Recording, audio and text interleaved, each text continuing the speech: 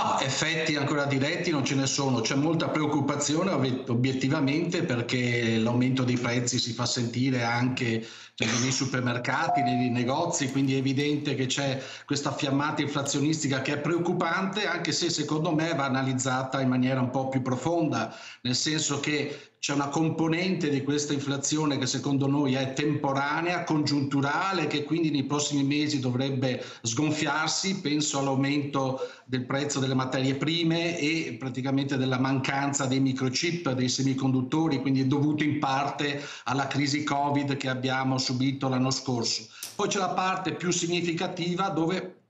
ci sono maggiori incognite su come affrontarla, nel senso che questa inflazione in parte è dovuta anche alle misure espansive che sono state adottate dai governi in Europa, giustamente per far fronte alla situazione di crisi economica che si è creata con la pandemia. Non solo, ma la BCE ha iniettato moltissima liquidità pensi che ancora adesso nulla a che vedere ovviamente con gli 80 miliardi al mese che, di acquisti di titoli di Stato che faceva l'anno scorso, ma ancora adesso sono 15 miliardi al mese che la BCE acquista titoli pubblici nei singoli paesi europei per iniettare liquidità, per agevolare la situazione di questi paesi. Quindi è evidente che questo secondo noi è il problema, cioè le politiche espansive possiamo eliminarle? No, assolutamente, perché siamo ancora in una fase di difficoltà, però credo che gradualmente le dovremo in qualche modo diminuire, altrimenti c'è il rischio che sostanzialmente la BCE in qualche modo debba intervenire, qualche segnale c'è già da parte della Fed Fed, cioè della Banca Centrale Americana, che ha deciso oggi sui giornali di ridurre progressivamente l'acquisto di titoli pubblici